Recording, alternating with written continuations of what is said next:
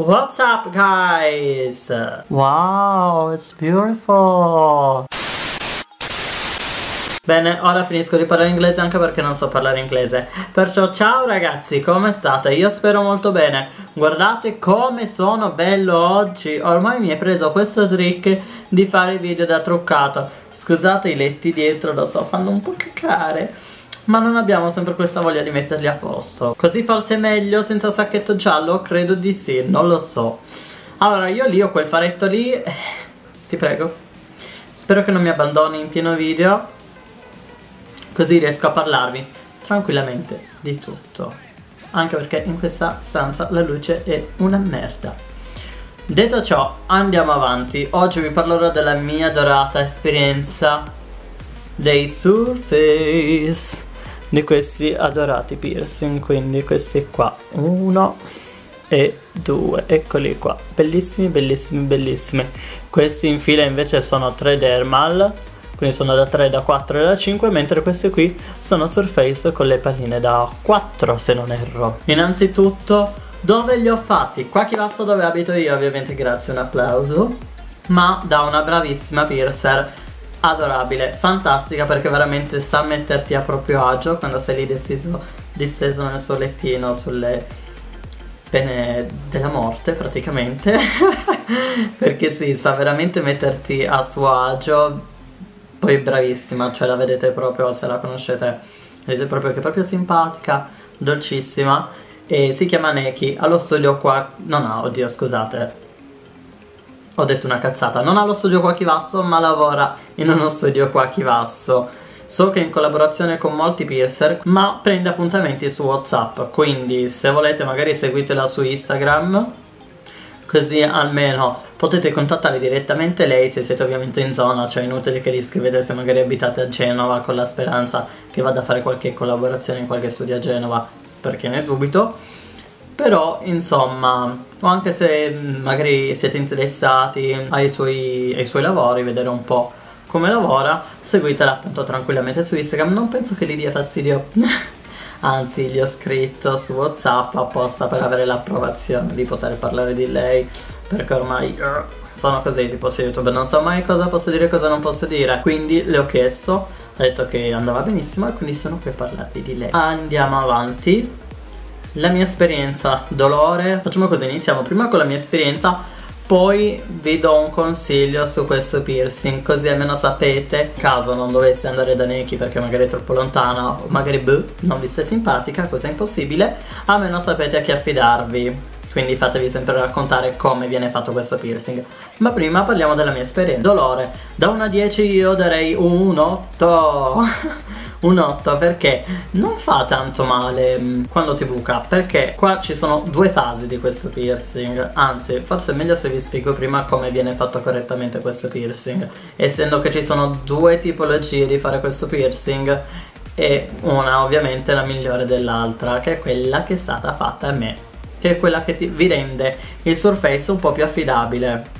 Essendo che comunque i surface come i piercing come anche i dermal sono molto a rischio di rigetto. Ci sono varie tecniche che col tempo ovviamente sono andati a studiare quindi che fanno aderire meglio il piercing alla pelle evitando di far fare rigetto. Quindi qual è questo metodo perfetto che al giorno d'oggi utilizzano i veri piercer? Un bellissimo punch per chi non lo sapesse vi metto magari una foto qua. Quello strumento così carino che sembra una penna tanto carino quanto doloroso che vi va a bucare la pelle. E come se fosse una penna che ne so come, come ve lo spiego ok come se fosse una penna così solo che qua anziché avere la, la punta ha um, un, un, buco che ti va a scavare la pelle. Quindi se si toglie la ecco così come se avesse questo buchino qua che ti va a scavare la pelle. Quindi quando tu lo vuoi posizionare che ne so in questo caso magari sul braccio per farlo vedere meglio e scavi in questa maniera così ti va poi a levare il pezzettino di pelle e così poi si può eventualmente infilare il dermal o fare altri lavori come in questo esempio i surface. Quindi cosa è successo? con il punch mi ha fatto i due bucherellini. Prima mi ha fatto tutto il lavoro a destra mi ricordo perfettamente e poi tutto il lavoro a sinistra. Ovviamente ha utilizzato anche due punch diversi uno per il lavoro di destra e l'altro per il sinistra. Quindi cosa è successo? aperto il primo punch mi ha fatto i due bucherellini uscito una marea di sangue. non tanto a destra ma a sinistra sì, è uscito abbastanza, anche perché me lo sentivo proprio colare, però a me in realtà non, uh, non mi fa senso il sangue. E quindi è stato questo il vero e proprio dolore, perché poi dopo c'è una seconda fase prima di infilare il piercing, si prende un bel lago canula che nel mio caso è stato, penso, lo spessore 2.0, quindi quello arancione, che è il successivo di quello grigio che si utilizza solitamente nei piercing, quindi da 1.8 a 1.6 e quindi l'ha infilato dal primo buco l'ha fatto passare sotto fino al secondo buco. Quello vi giuro regà zero cioè non lo sentivo nemmeno passare sotto pelle. Idem quando poi ha passato il piercing che ovviamente non è un piercing semplice. A 90 gradi vi metto una foto qui perché in realtà ne ho uno dietro ma non ho voglia di andarla a prendere. Ma magari ve lo prendo così lo faccio vedere meglio. Forse è meglio così. Per intenderci questa è una barretta a 45 gradi ok 90 gradi tenete conto che anziché rimanere un po' più sfilata così rimane completamente dritta. Quindi sanghetta due barrette quindi uscirebbe comunque davanti. E questa è a filettatura interna. Quindi andrebbero poi avvitate le palline fuori e poi rimarrebbero le due palline rimane in primis brutto come piercing ma in secondo anche comunque non è appunto corretto per quanto riguarda appunto quelle questioni di rigetto e quant'altro. In questa maniera lei è andata a infilare una barretta piatta, quasi come se fosse proprio la piattina del dermal, però appunto più lunga, con sempre a 90 gradi, quindi con i due pezzettini all'infuori, però con filettatura interna. In questo caso è la pallina che si va a incastrare e evitare dentro il piercing e non viceversa. Non so se riesco a farmi spiegare perché per chi non conosce tanto bene queste cose è difficile fargliele capire. per me invece sembra più semplice di quel che è. Andato a infilare questo piercing così, filettatura interna e in questa maniera si possono evitare sia le palline classiche perché in realtà trovi anche uh, le palline da poter evitare in questi tipi di filettatura ma quelli che trovi molto più facilmente sono appunto i brillantini tipo dei dermal che in questo caso io li ho messi tutti brillantinati così, colore classico chiaro, perché a me piace così. Però se tipo io che ne so, domani decidessi di voler metterli rosa, ipotesi, boh, eh, svito la pallina, che forse su questi, sui Surface viene un po' più facile, perché sui Dermal vi posso assicurare che è impossibile anche se in realtà non ho ancora provato perché non vorrei mai perderne una e avviti tranquillamente l'altra quindi non sono comunque fissi. E quindi è questo. Quindi vi ho spiegato sia come si procede a fare un giusto piercing quindi se non volete andare da Neki comunque assicuratevi che ci sia qualcun altro degno che sappia fare questo lavoro. Ora so che sicuramente mi troverò altri commenti magari di, di piercer o di altre gioiellerie di, di, quelli classici che fanno i piercing con la pistola e dicono che va benissimo perché sono pulite. Back to 2017 forse dove avevo fatto un video vlog dove vi spiegavo era meglio fare piercing con la pistola con l'ago canula se non l'avete ancora visto andatelo a vedere mi raccomando. Però chiusa parentesi quello rimane un video a parte anche perché oddio non ci voglio ritornare dentro a parlare di queste cose perché ci veramente sarebbe di nuovo un video infinito. Momentaneamente in questa maniera si eseguono i piercing. Non i surface. Non con il 45 gradi non con il 90 gradi e nemmeno direttamente con l'ago prima il punch, poi l'ago e il 90 gradi. Fine. Ok?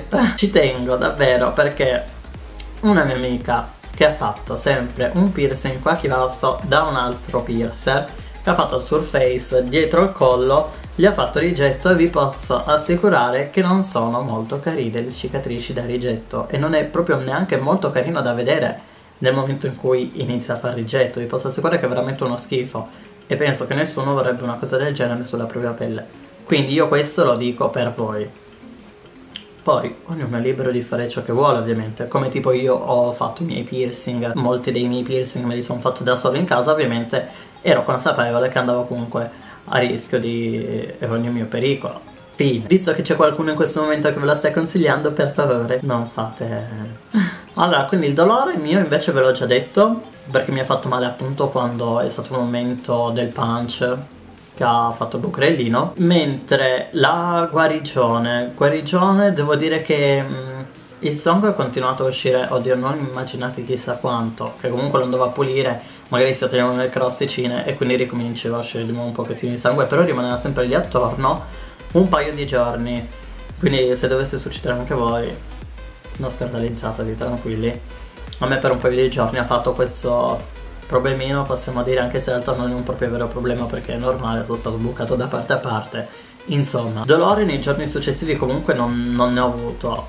Se non magari qualche fastidio sai magari se per sbaglio ti, ti tocchi così è ovvio che magari un pochettino ti fa male tra virgolette. Un'altra cosa che posso consigliarvi a questo proposito non indossate magari i giorni stessi per un paio di giorni magari mm, delle salopette con le bratelle o non indossate magari zaini troppo pesanti che magari si vanno proprio a battere lì contro perché comunque capite che già magari il corpo non è abituato a questo piercing in questa zona qui. Se poi ci diamo il proprio ok che siamo sicuri a fare un bel rigetto insomma quindi comunque va trattato molto con delicatezza i primi giorni. Come l'ho pulito io? Con della soluzione fisiologica in questo caso io ho utilizzato questa qui quella che utilizza delle lenti a contatto anche e, niente voi comprate la soluzione fisiologica che è la migliore anche se questa qui credo che vada bene non lo so.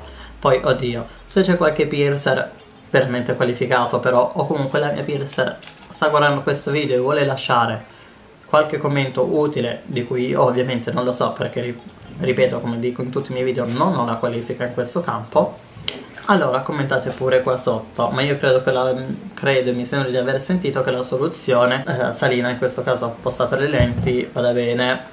E specialmente comunque sia migliore rispetto che fare un sale acqua in casa. Se no utilizzate il bialcol anche che è quello lì verde che non brucia, si chiama bialcol proprio, o è verde o trasparente, dipende. Quello, quello verde solitamente è l'isoform forse, eh, è il bialcol, io quello che ho sentito di più utilizzato dai piercer.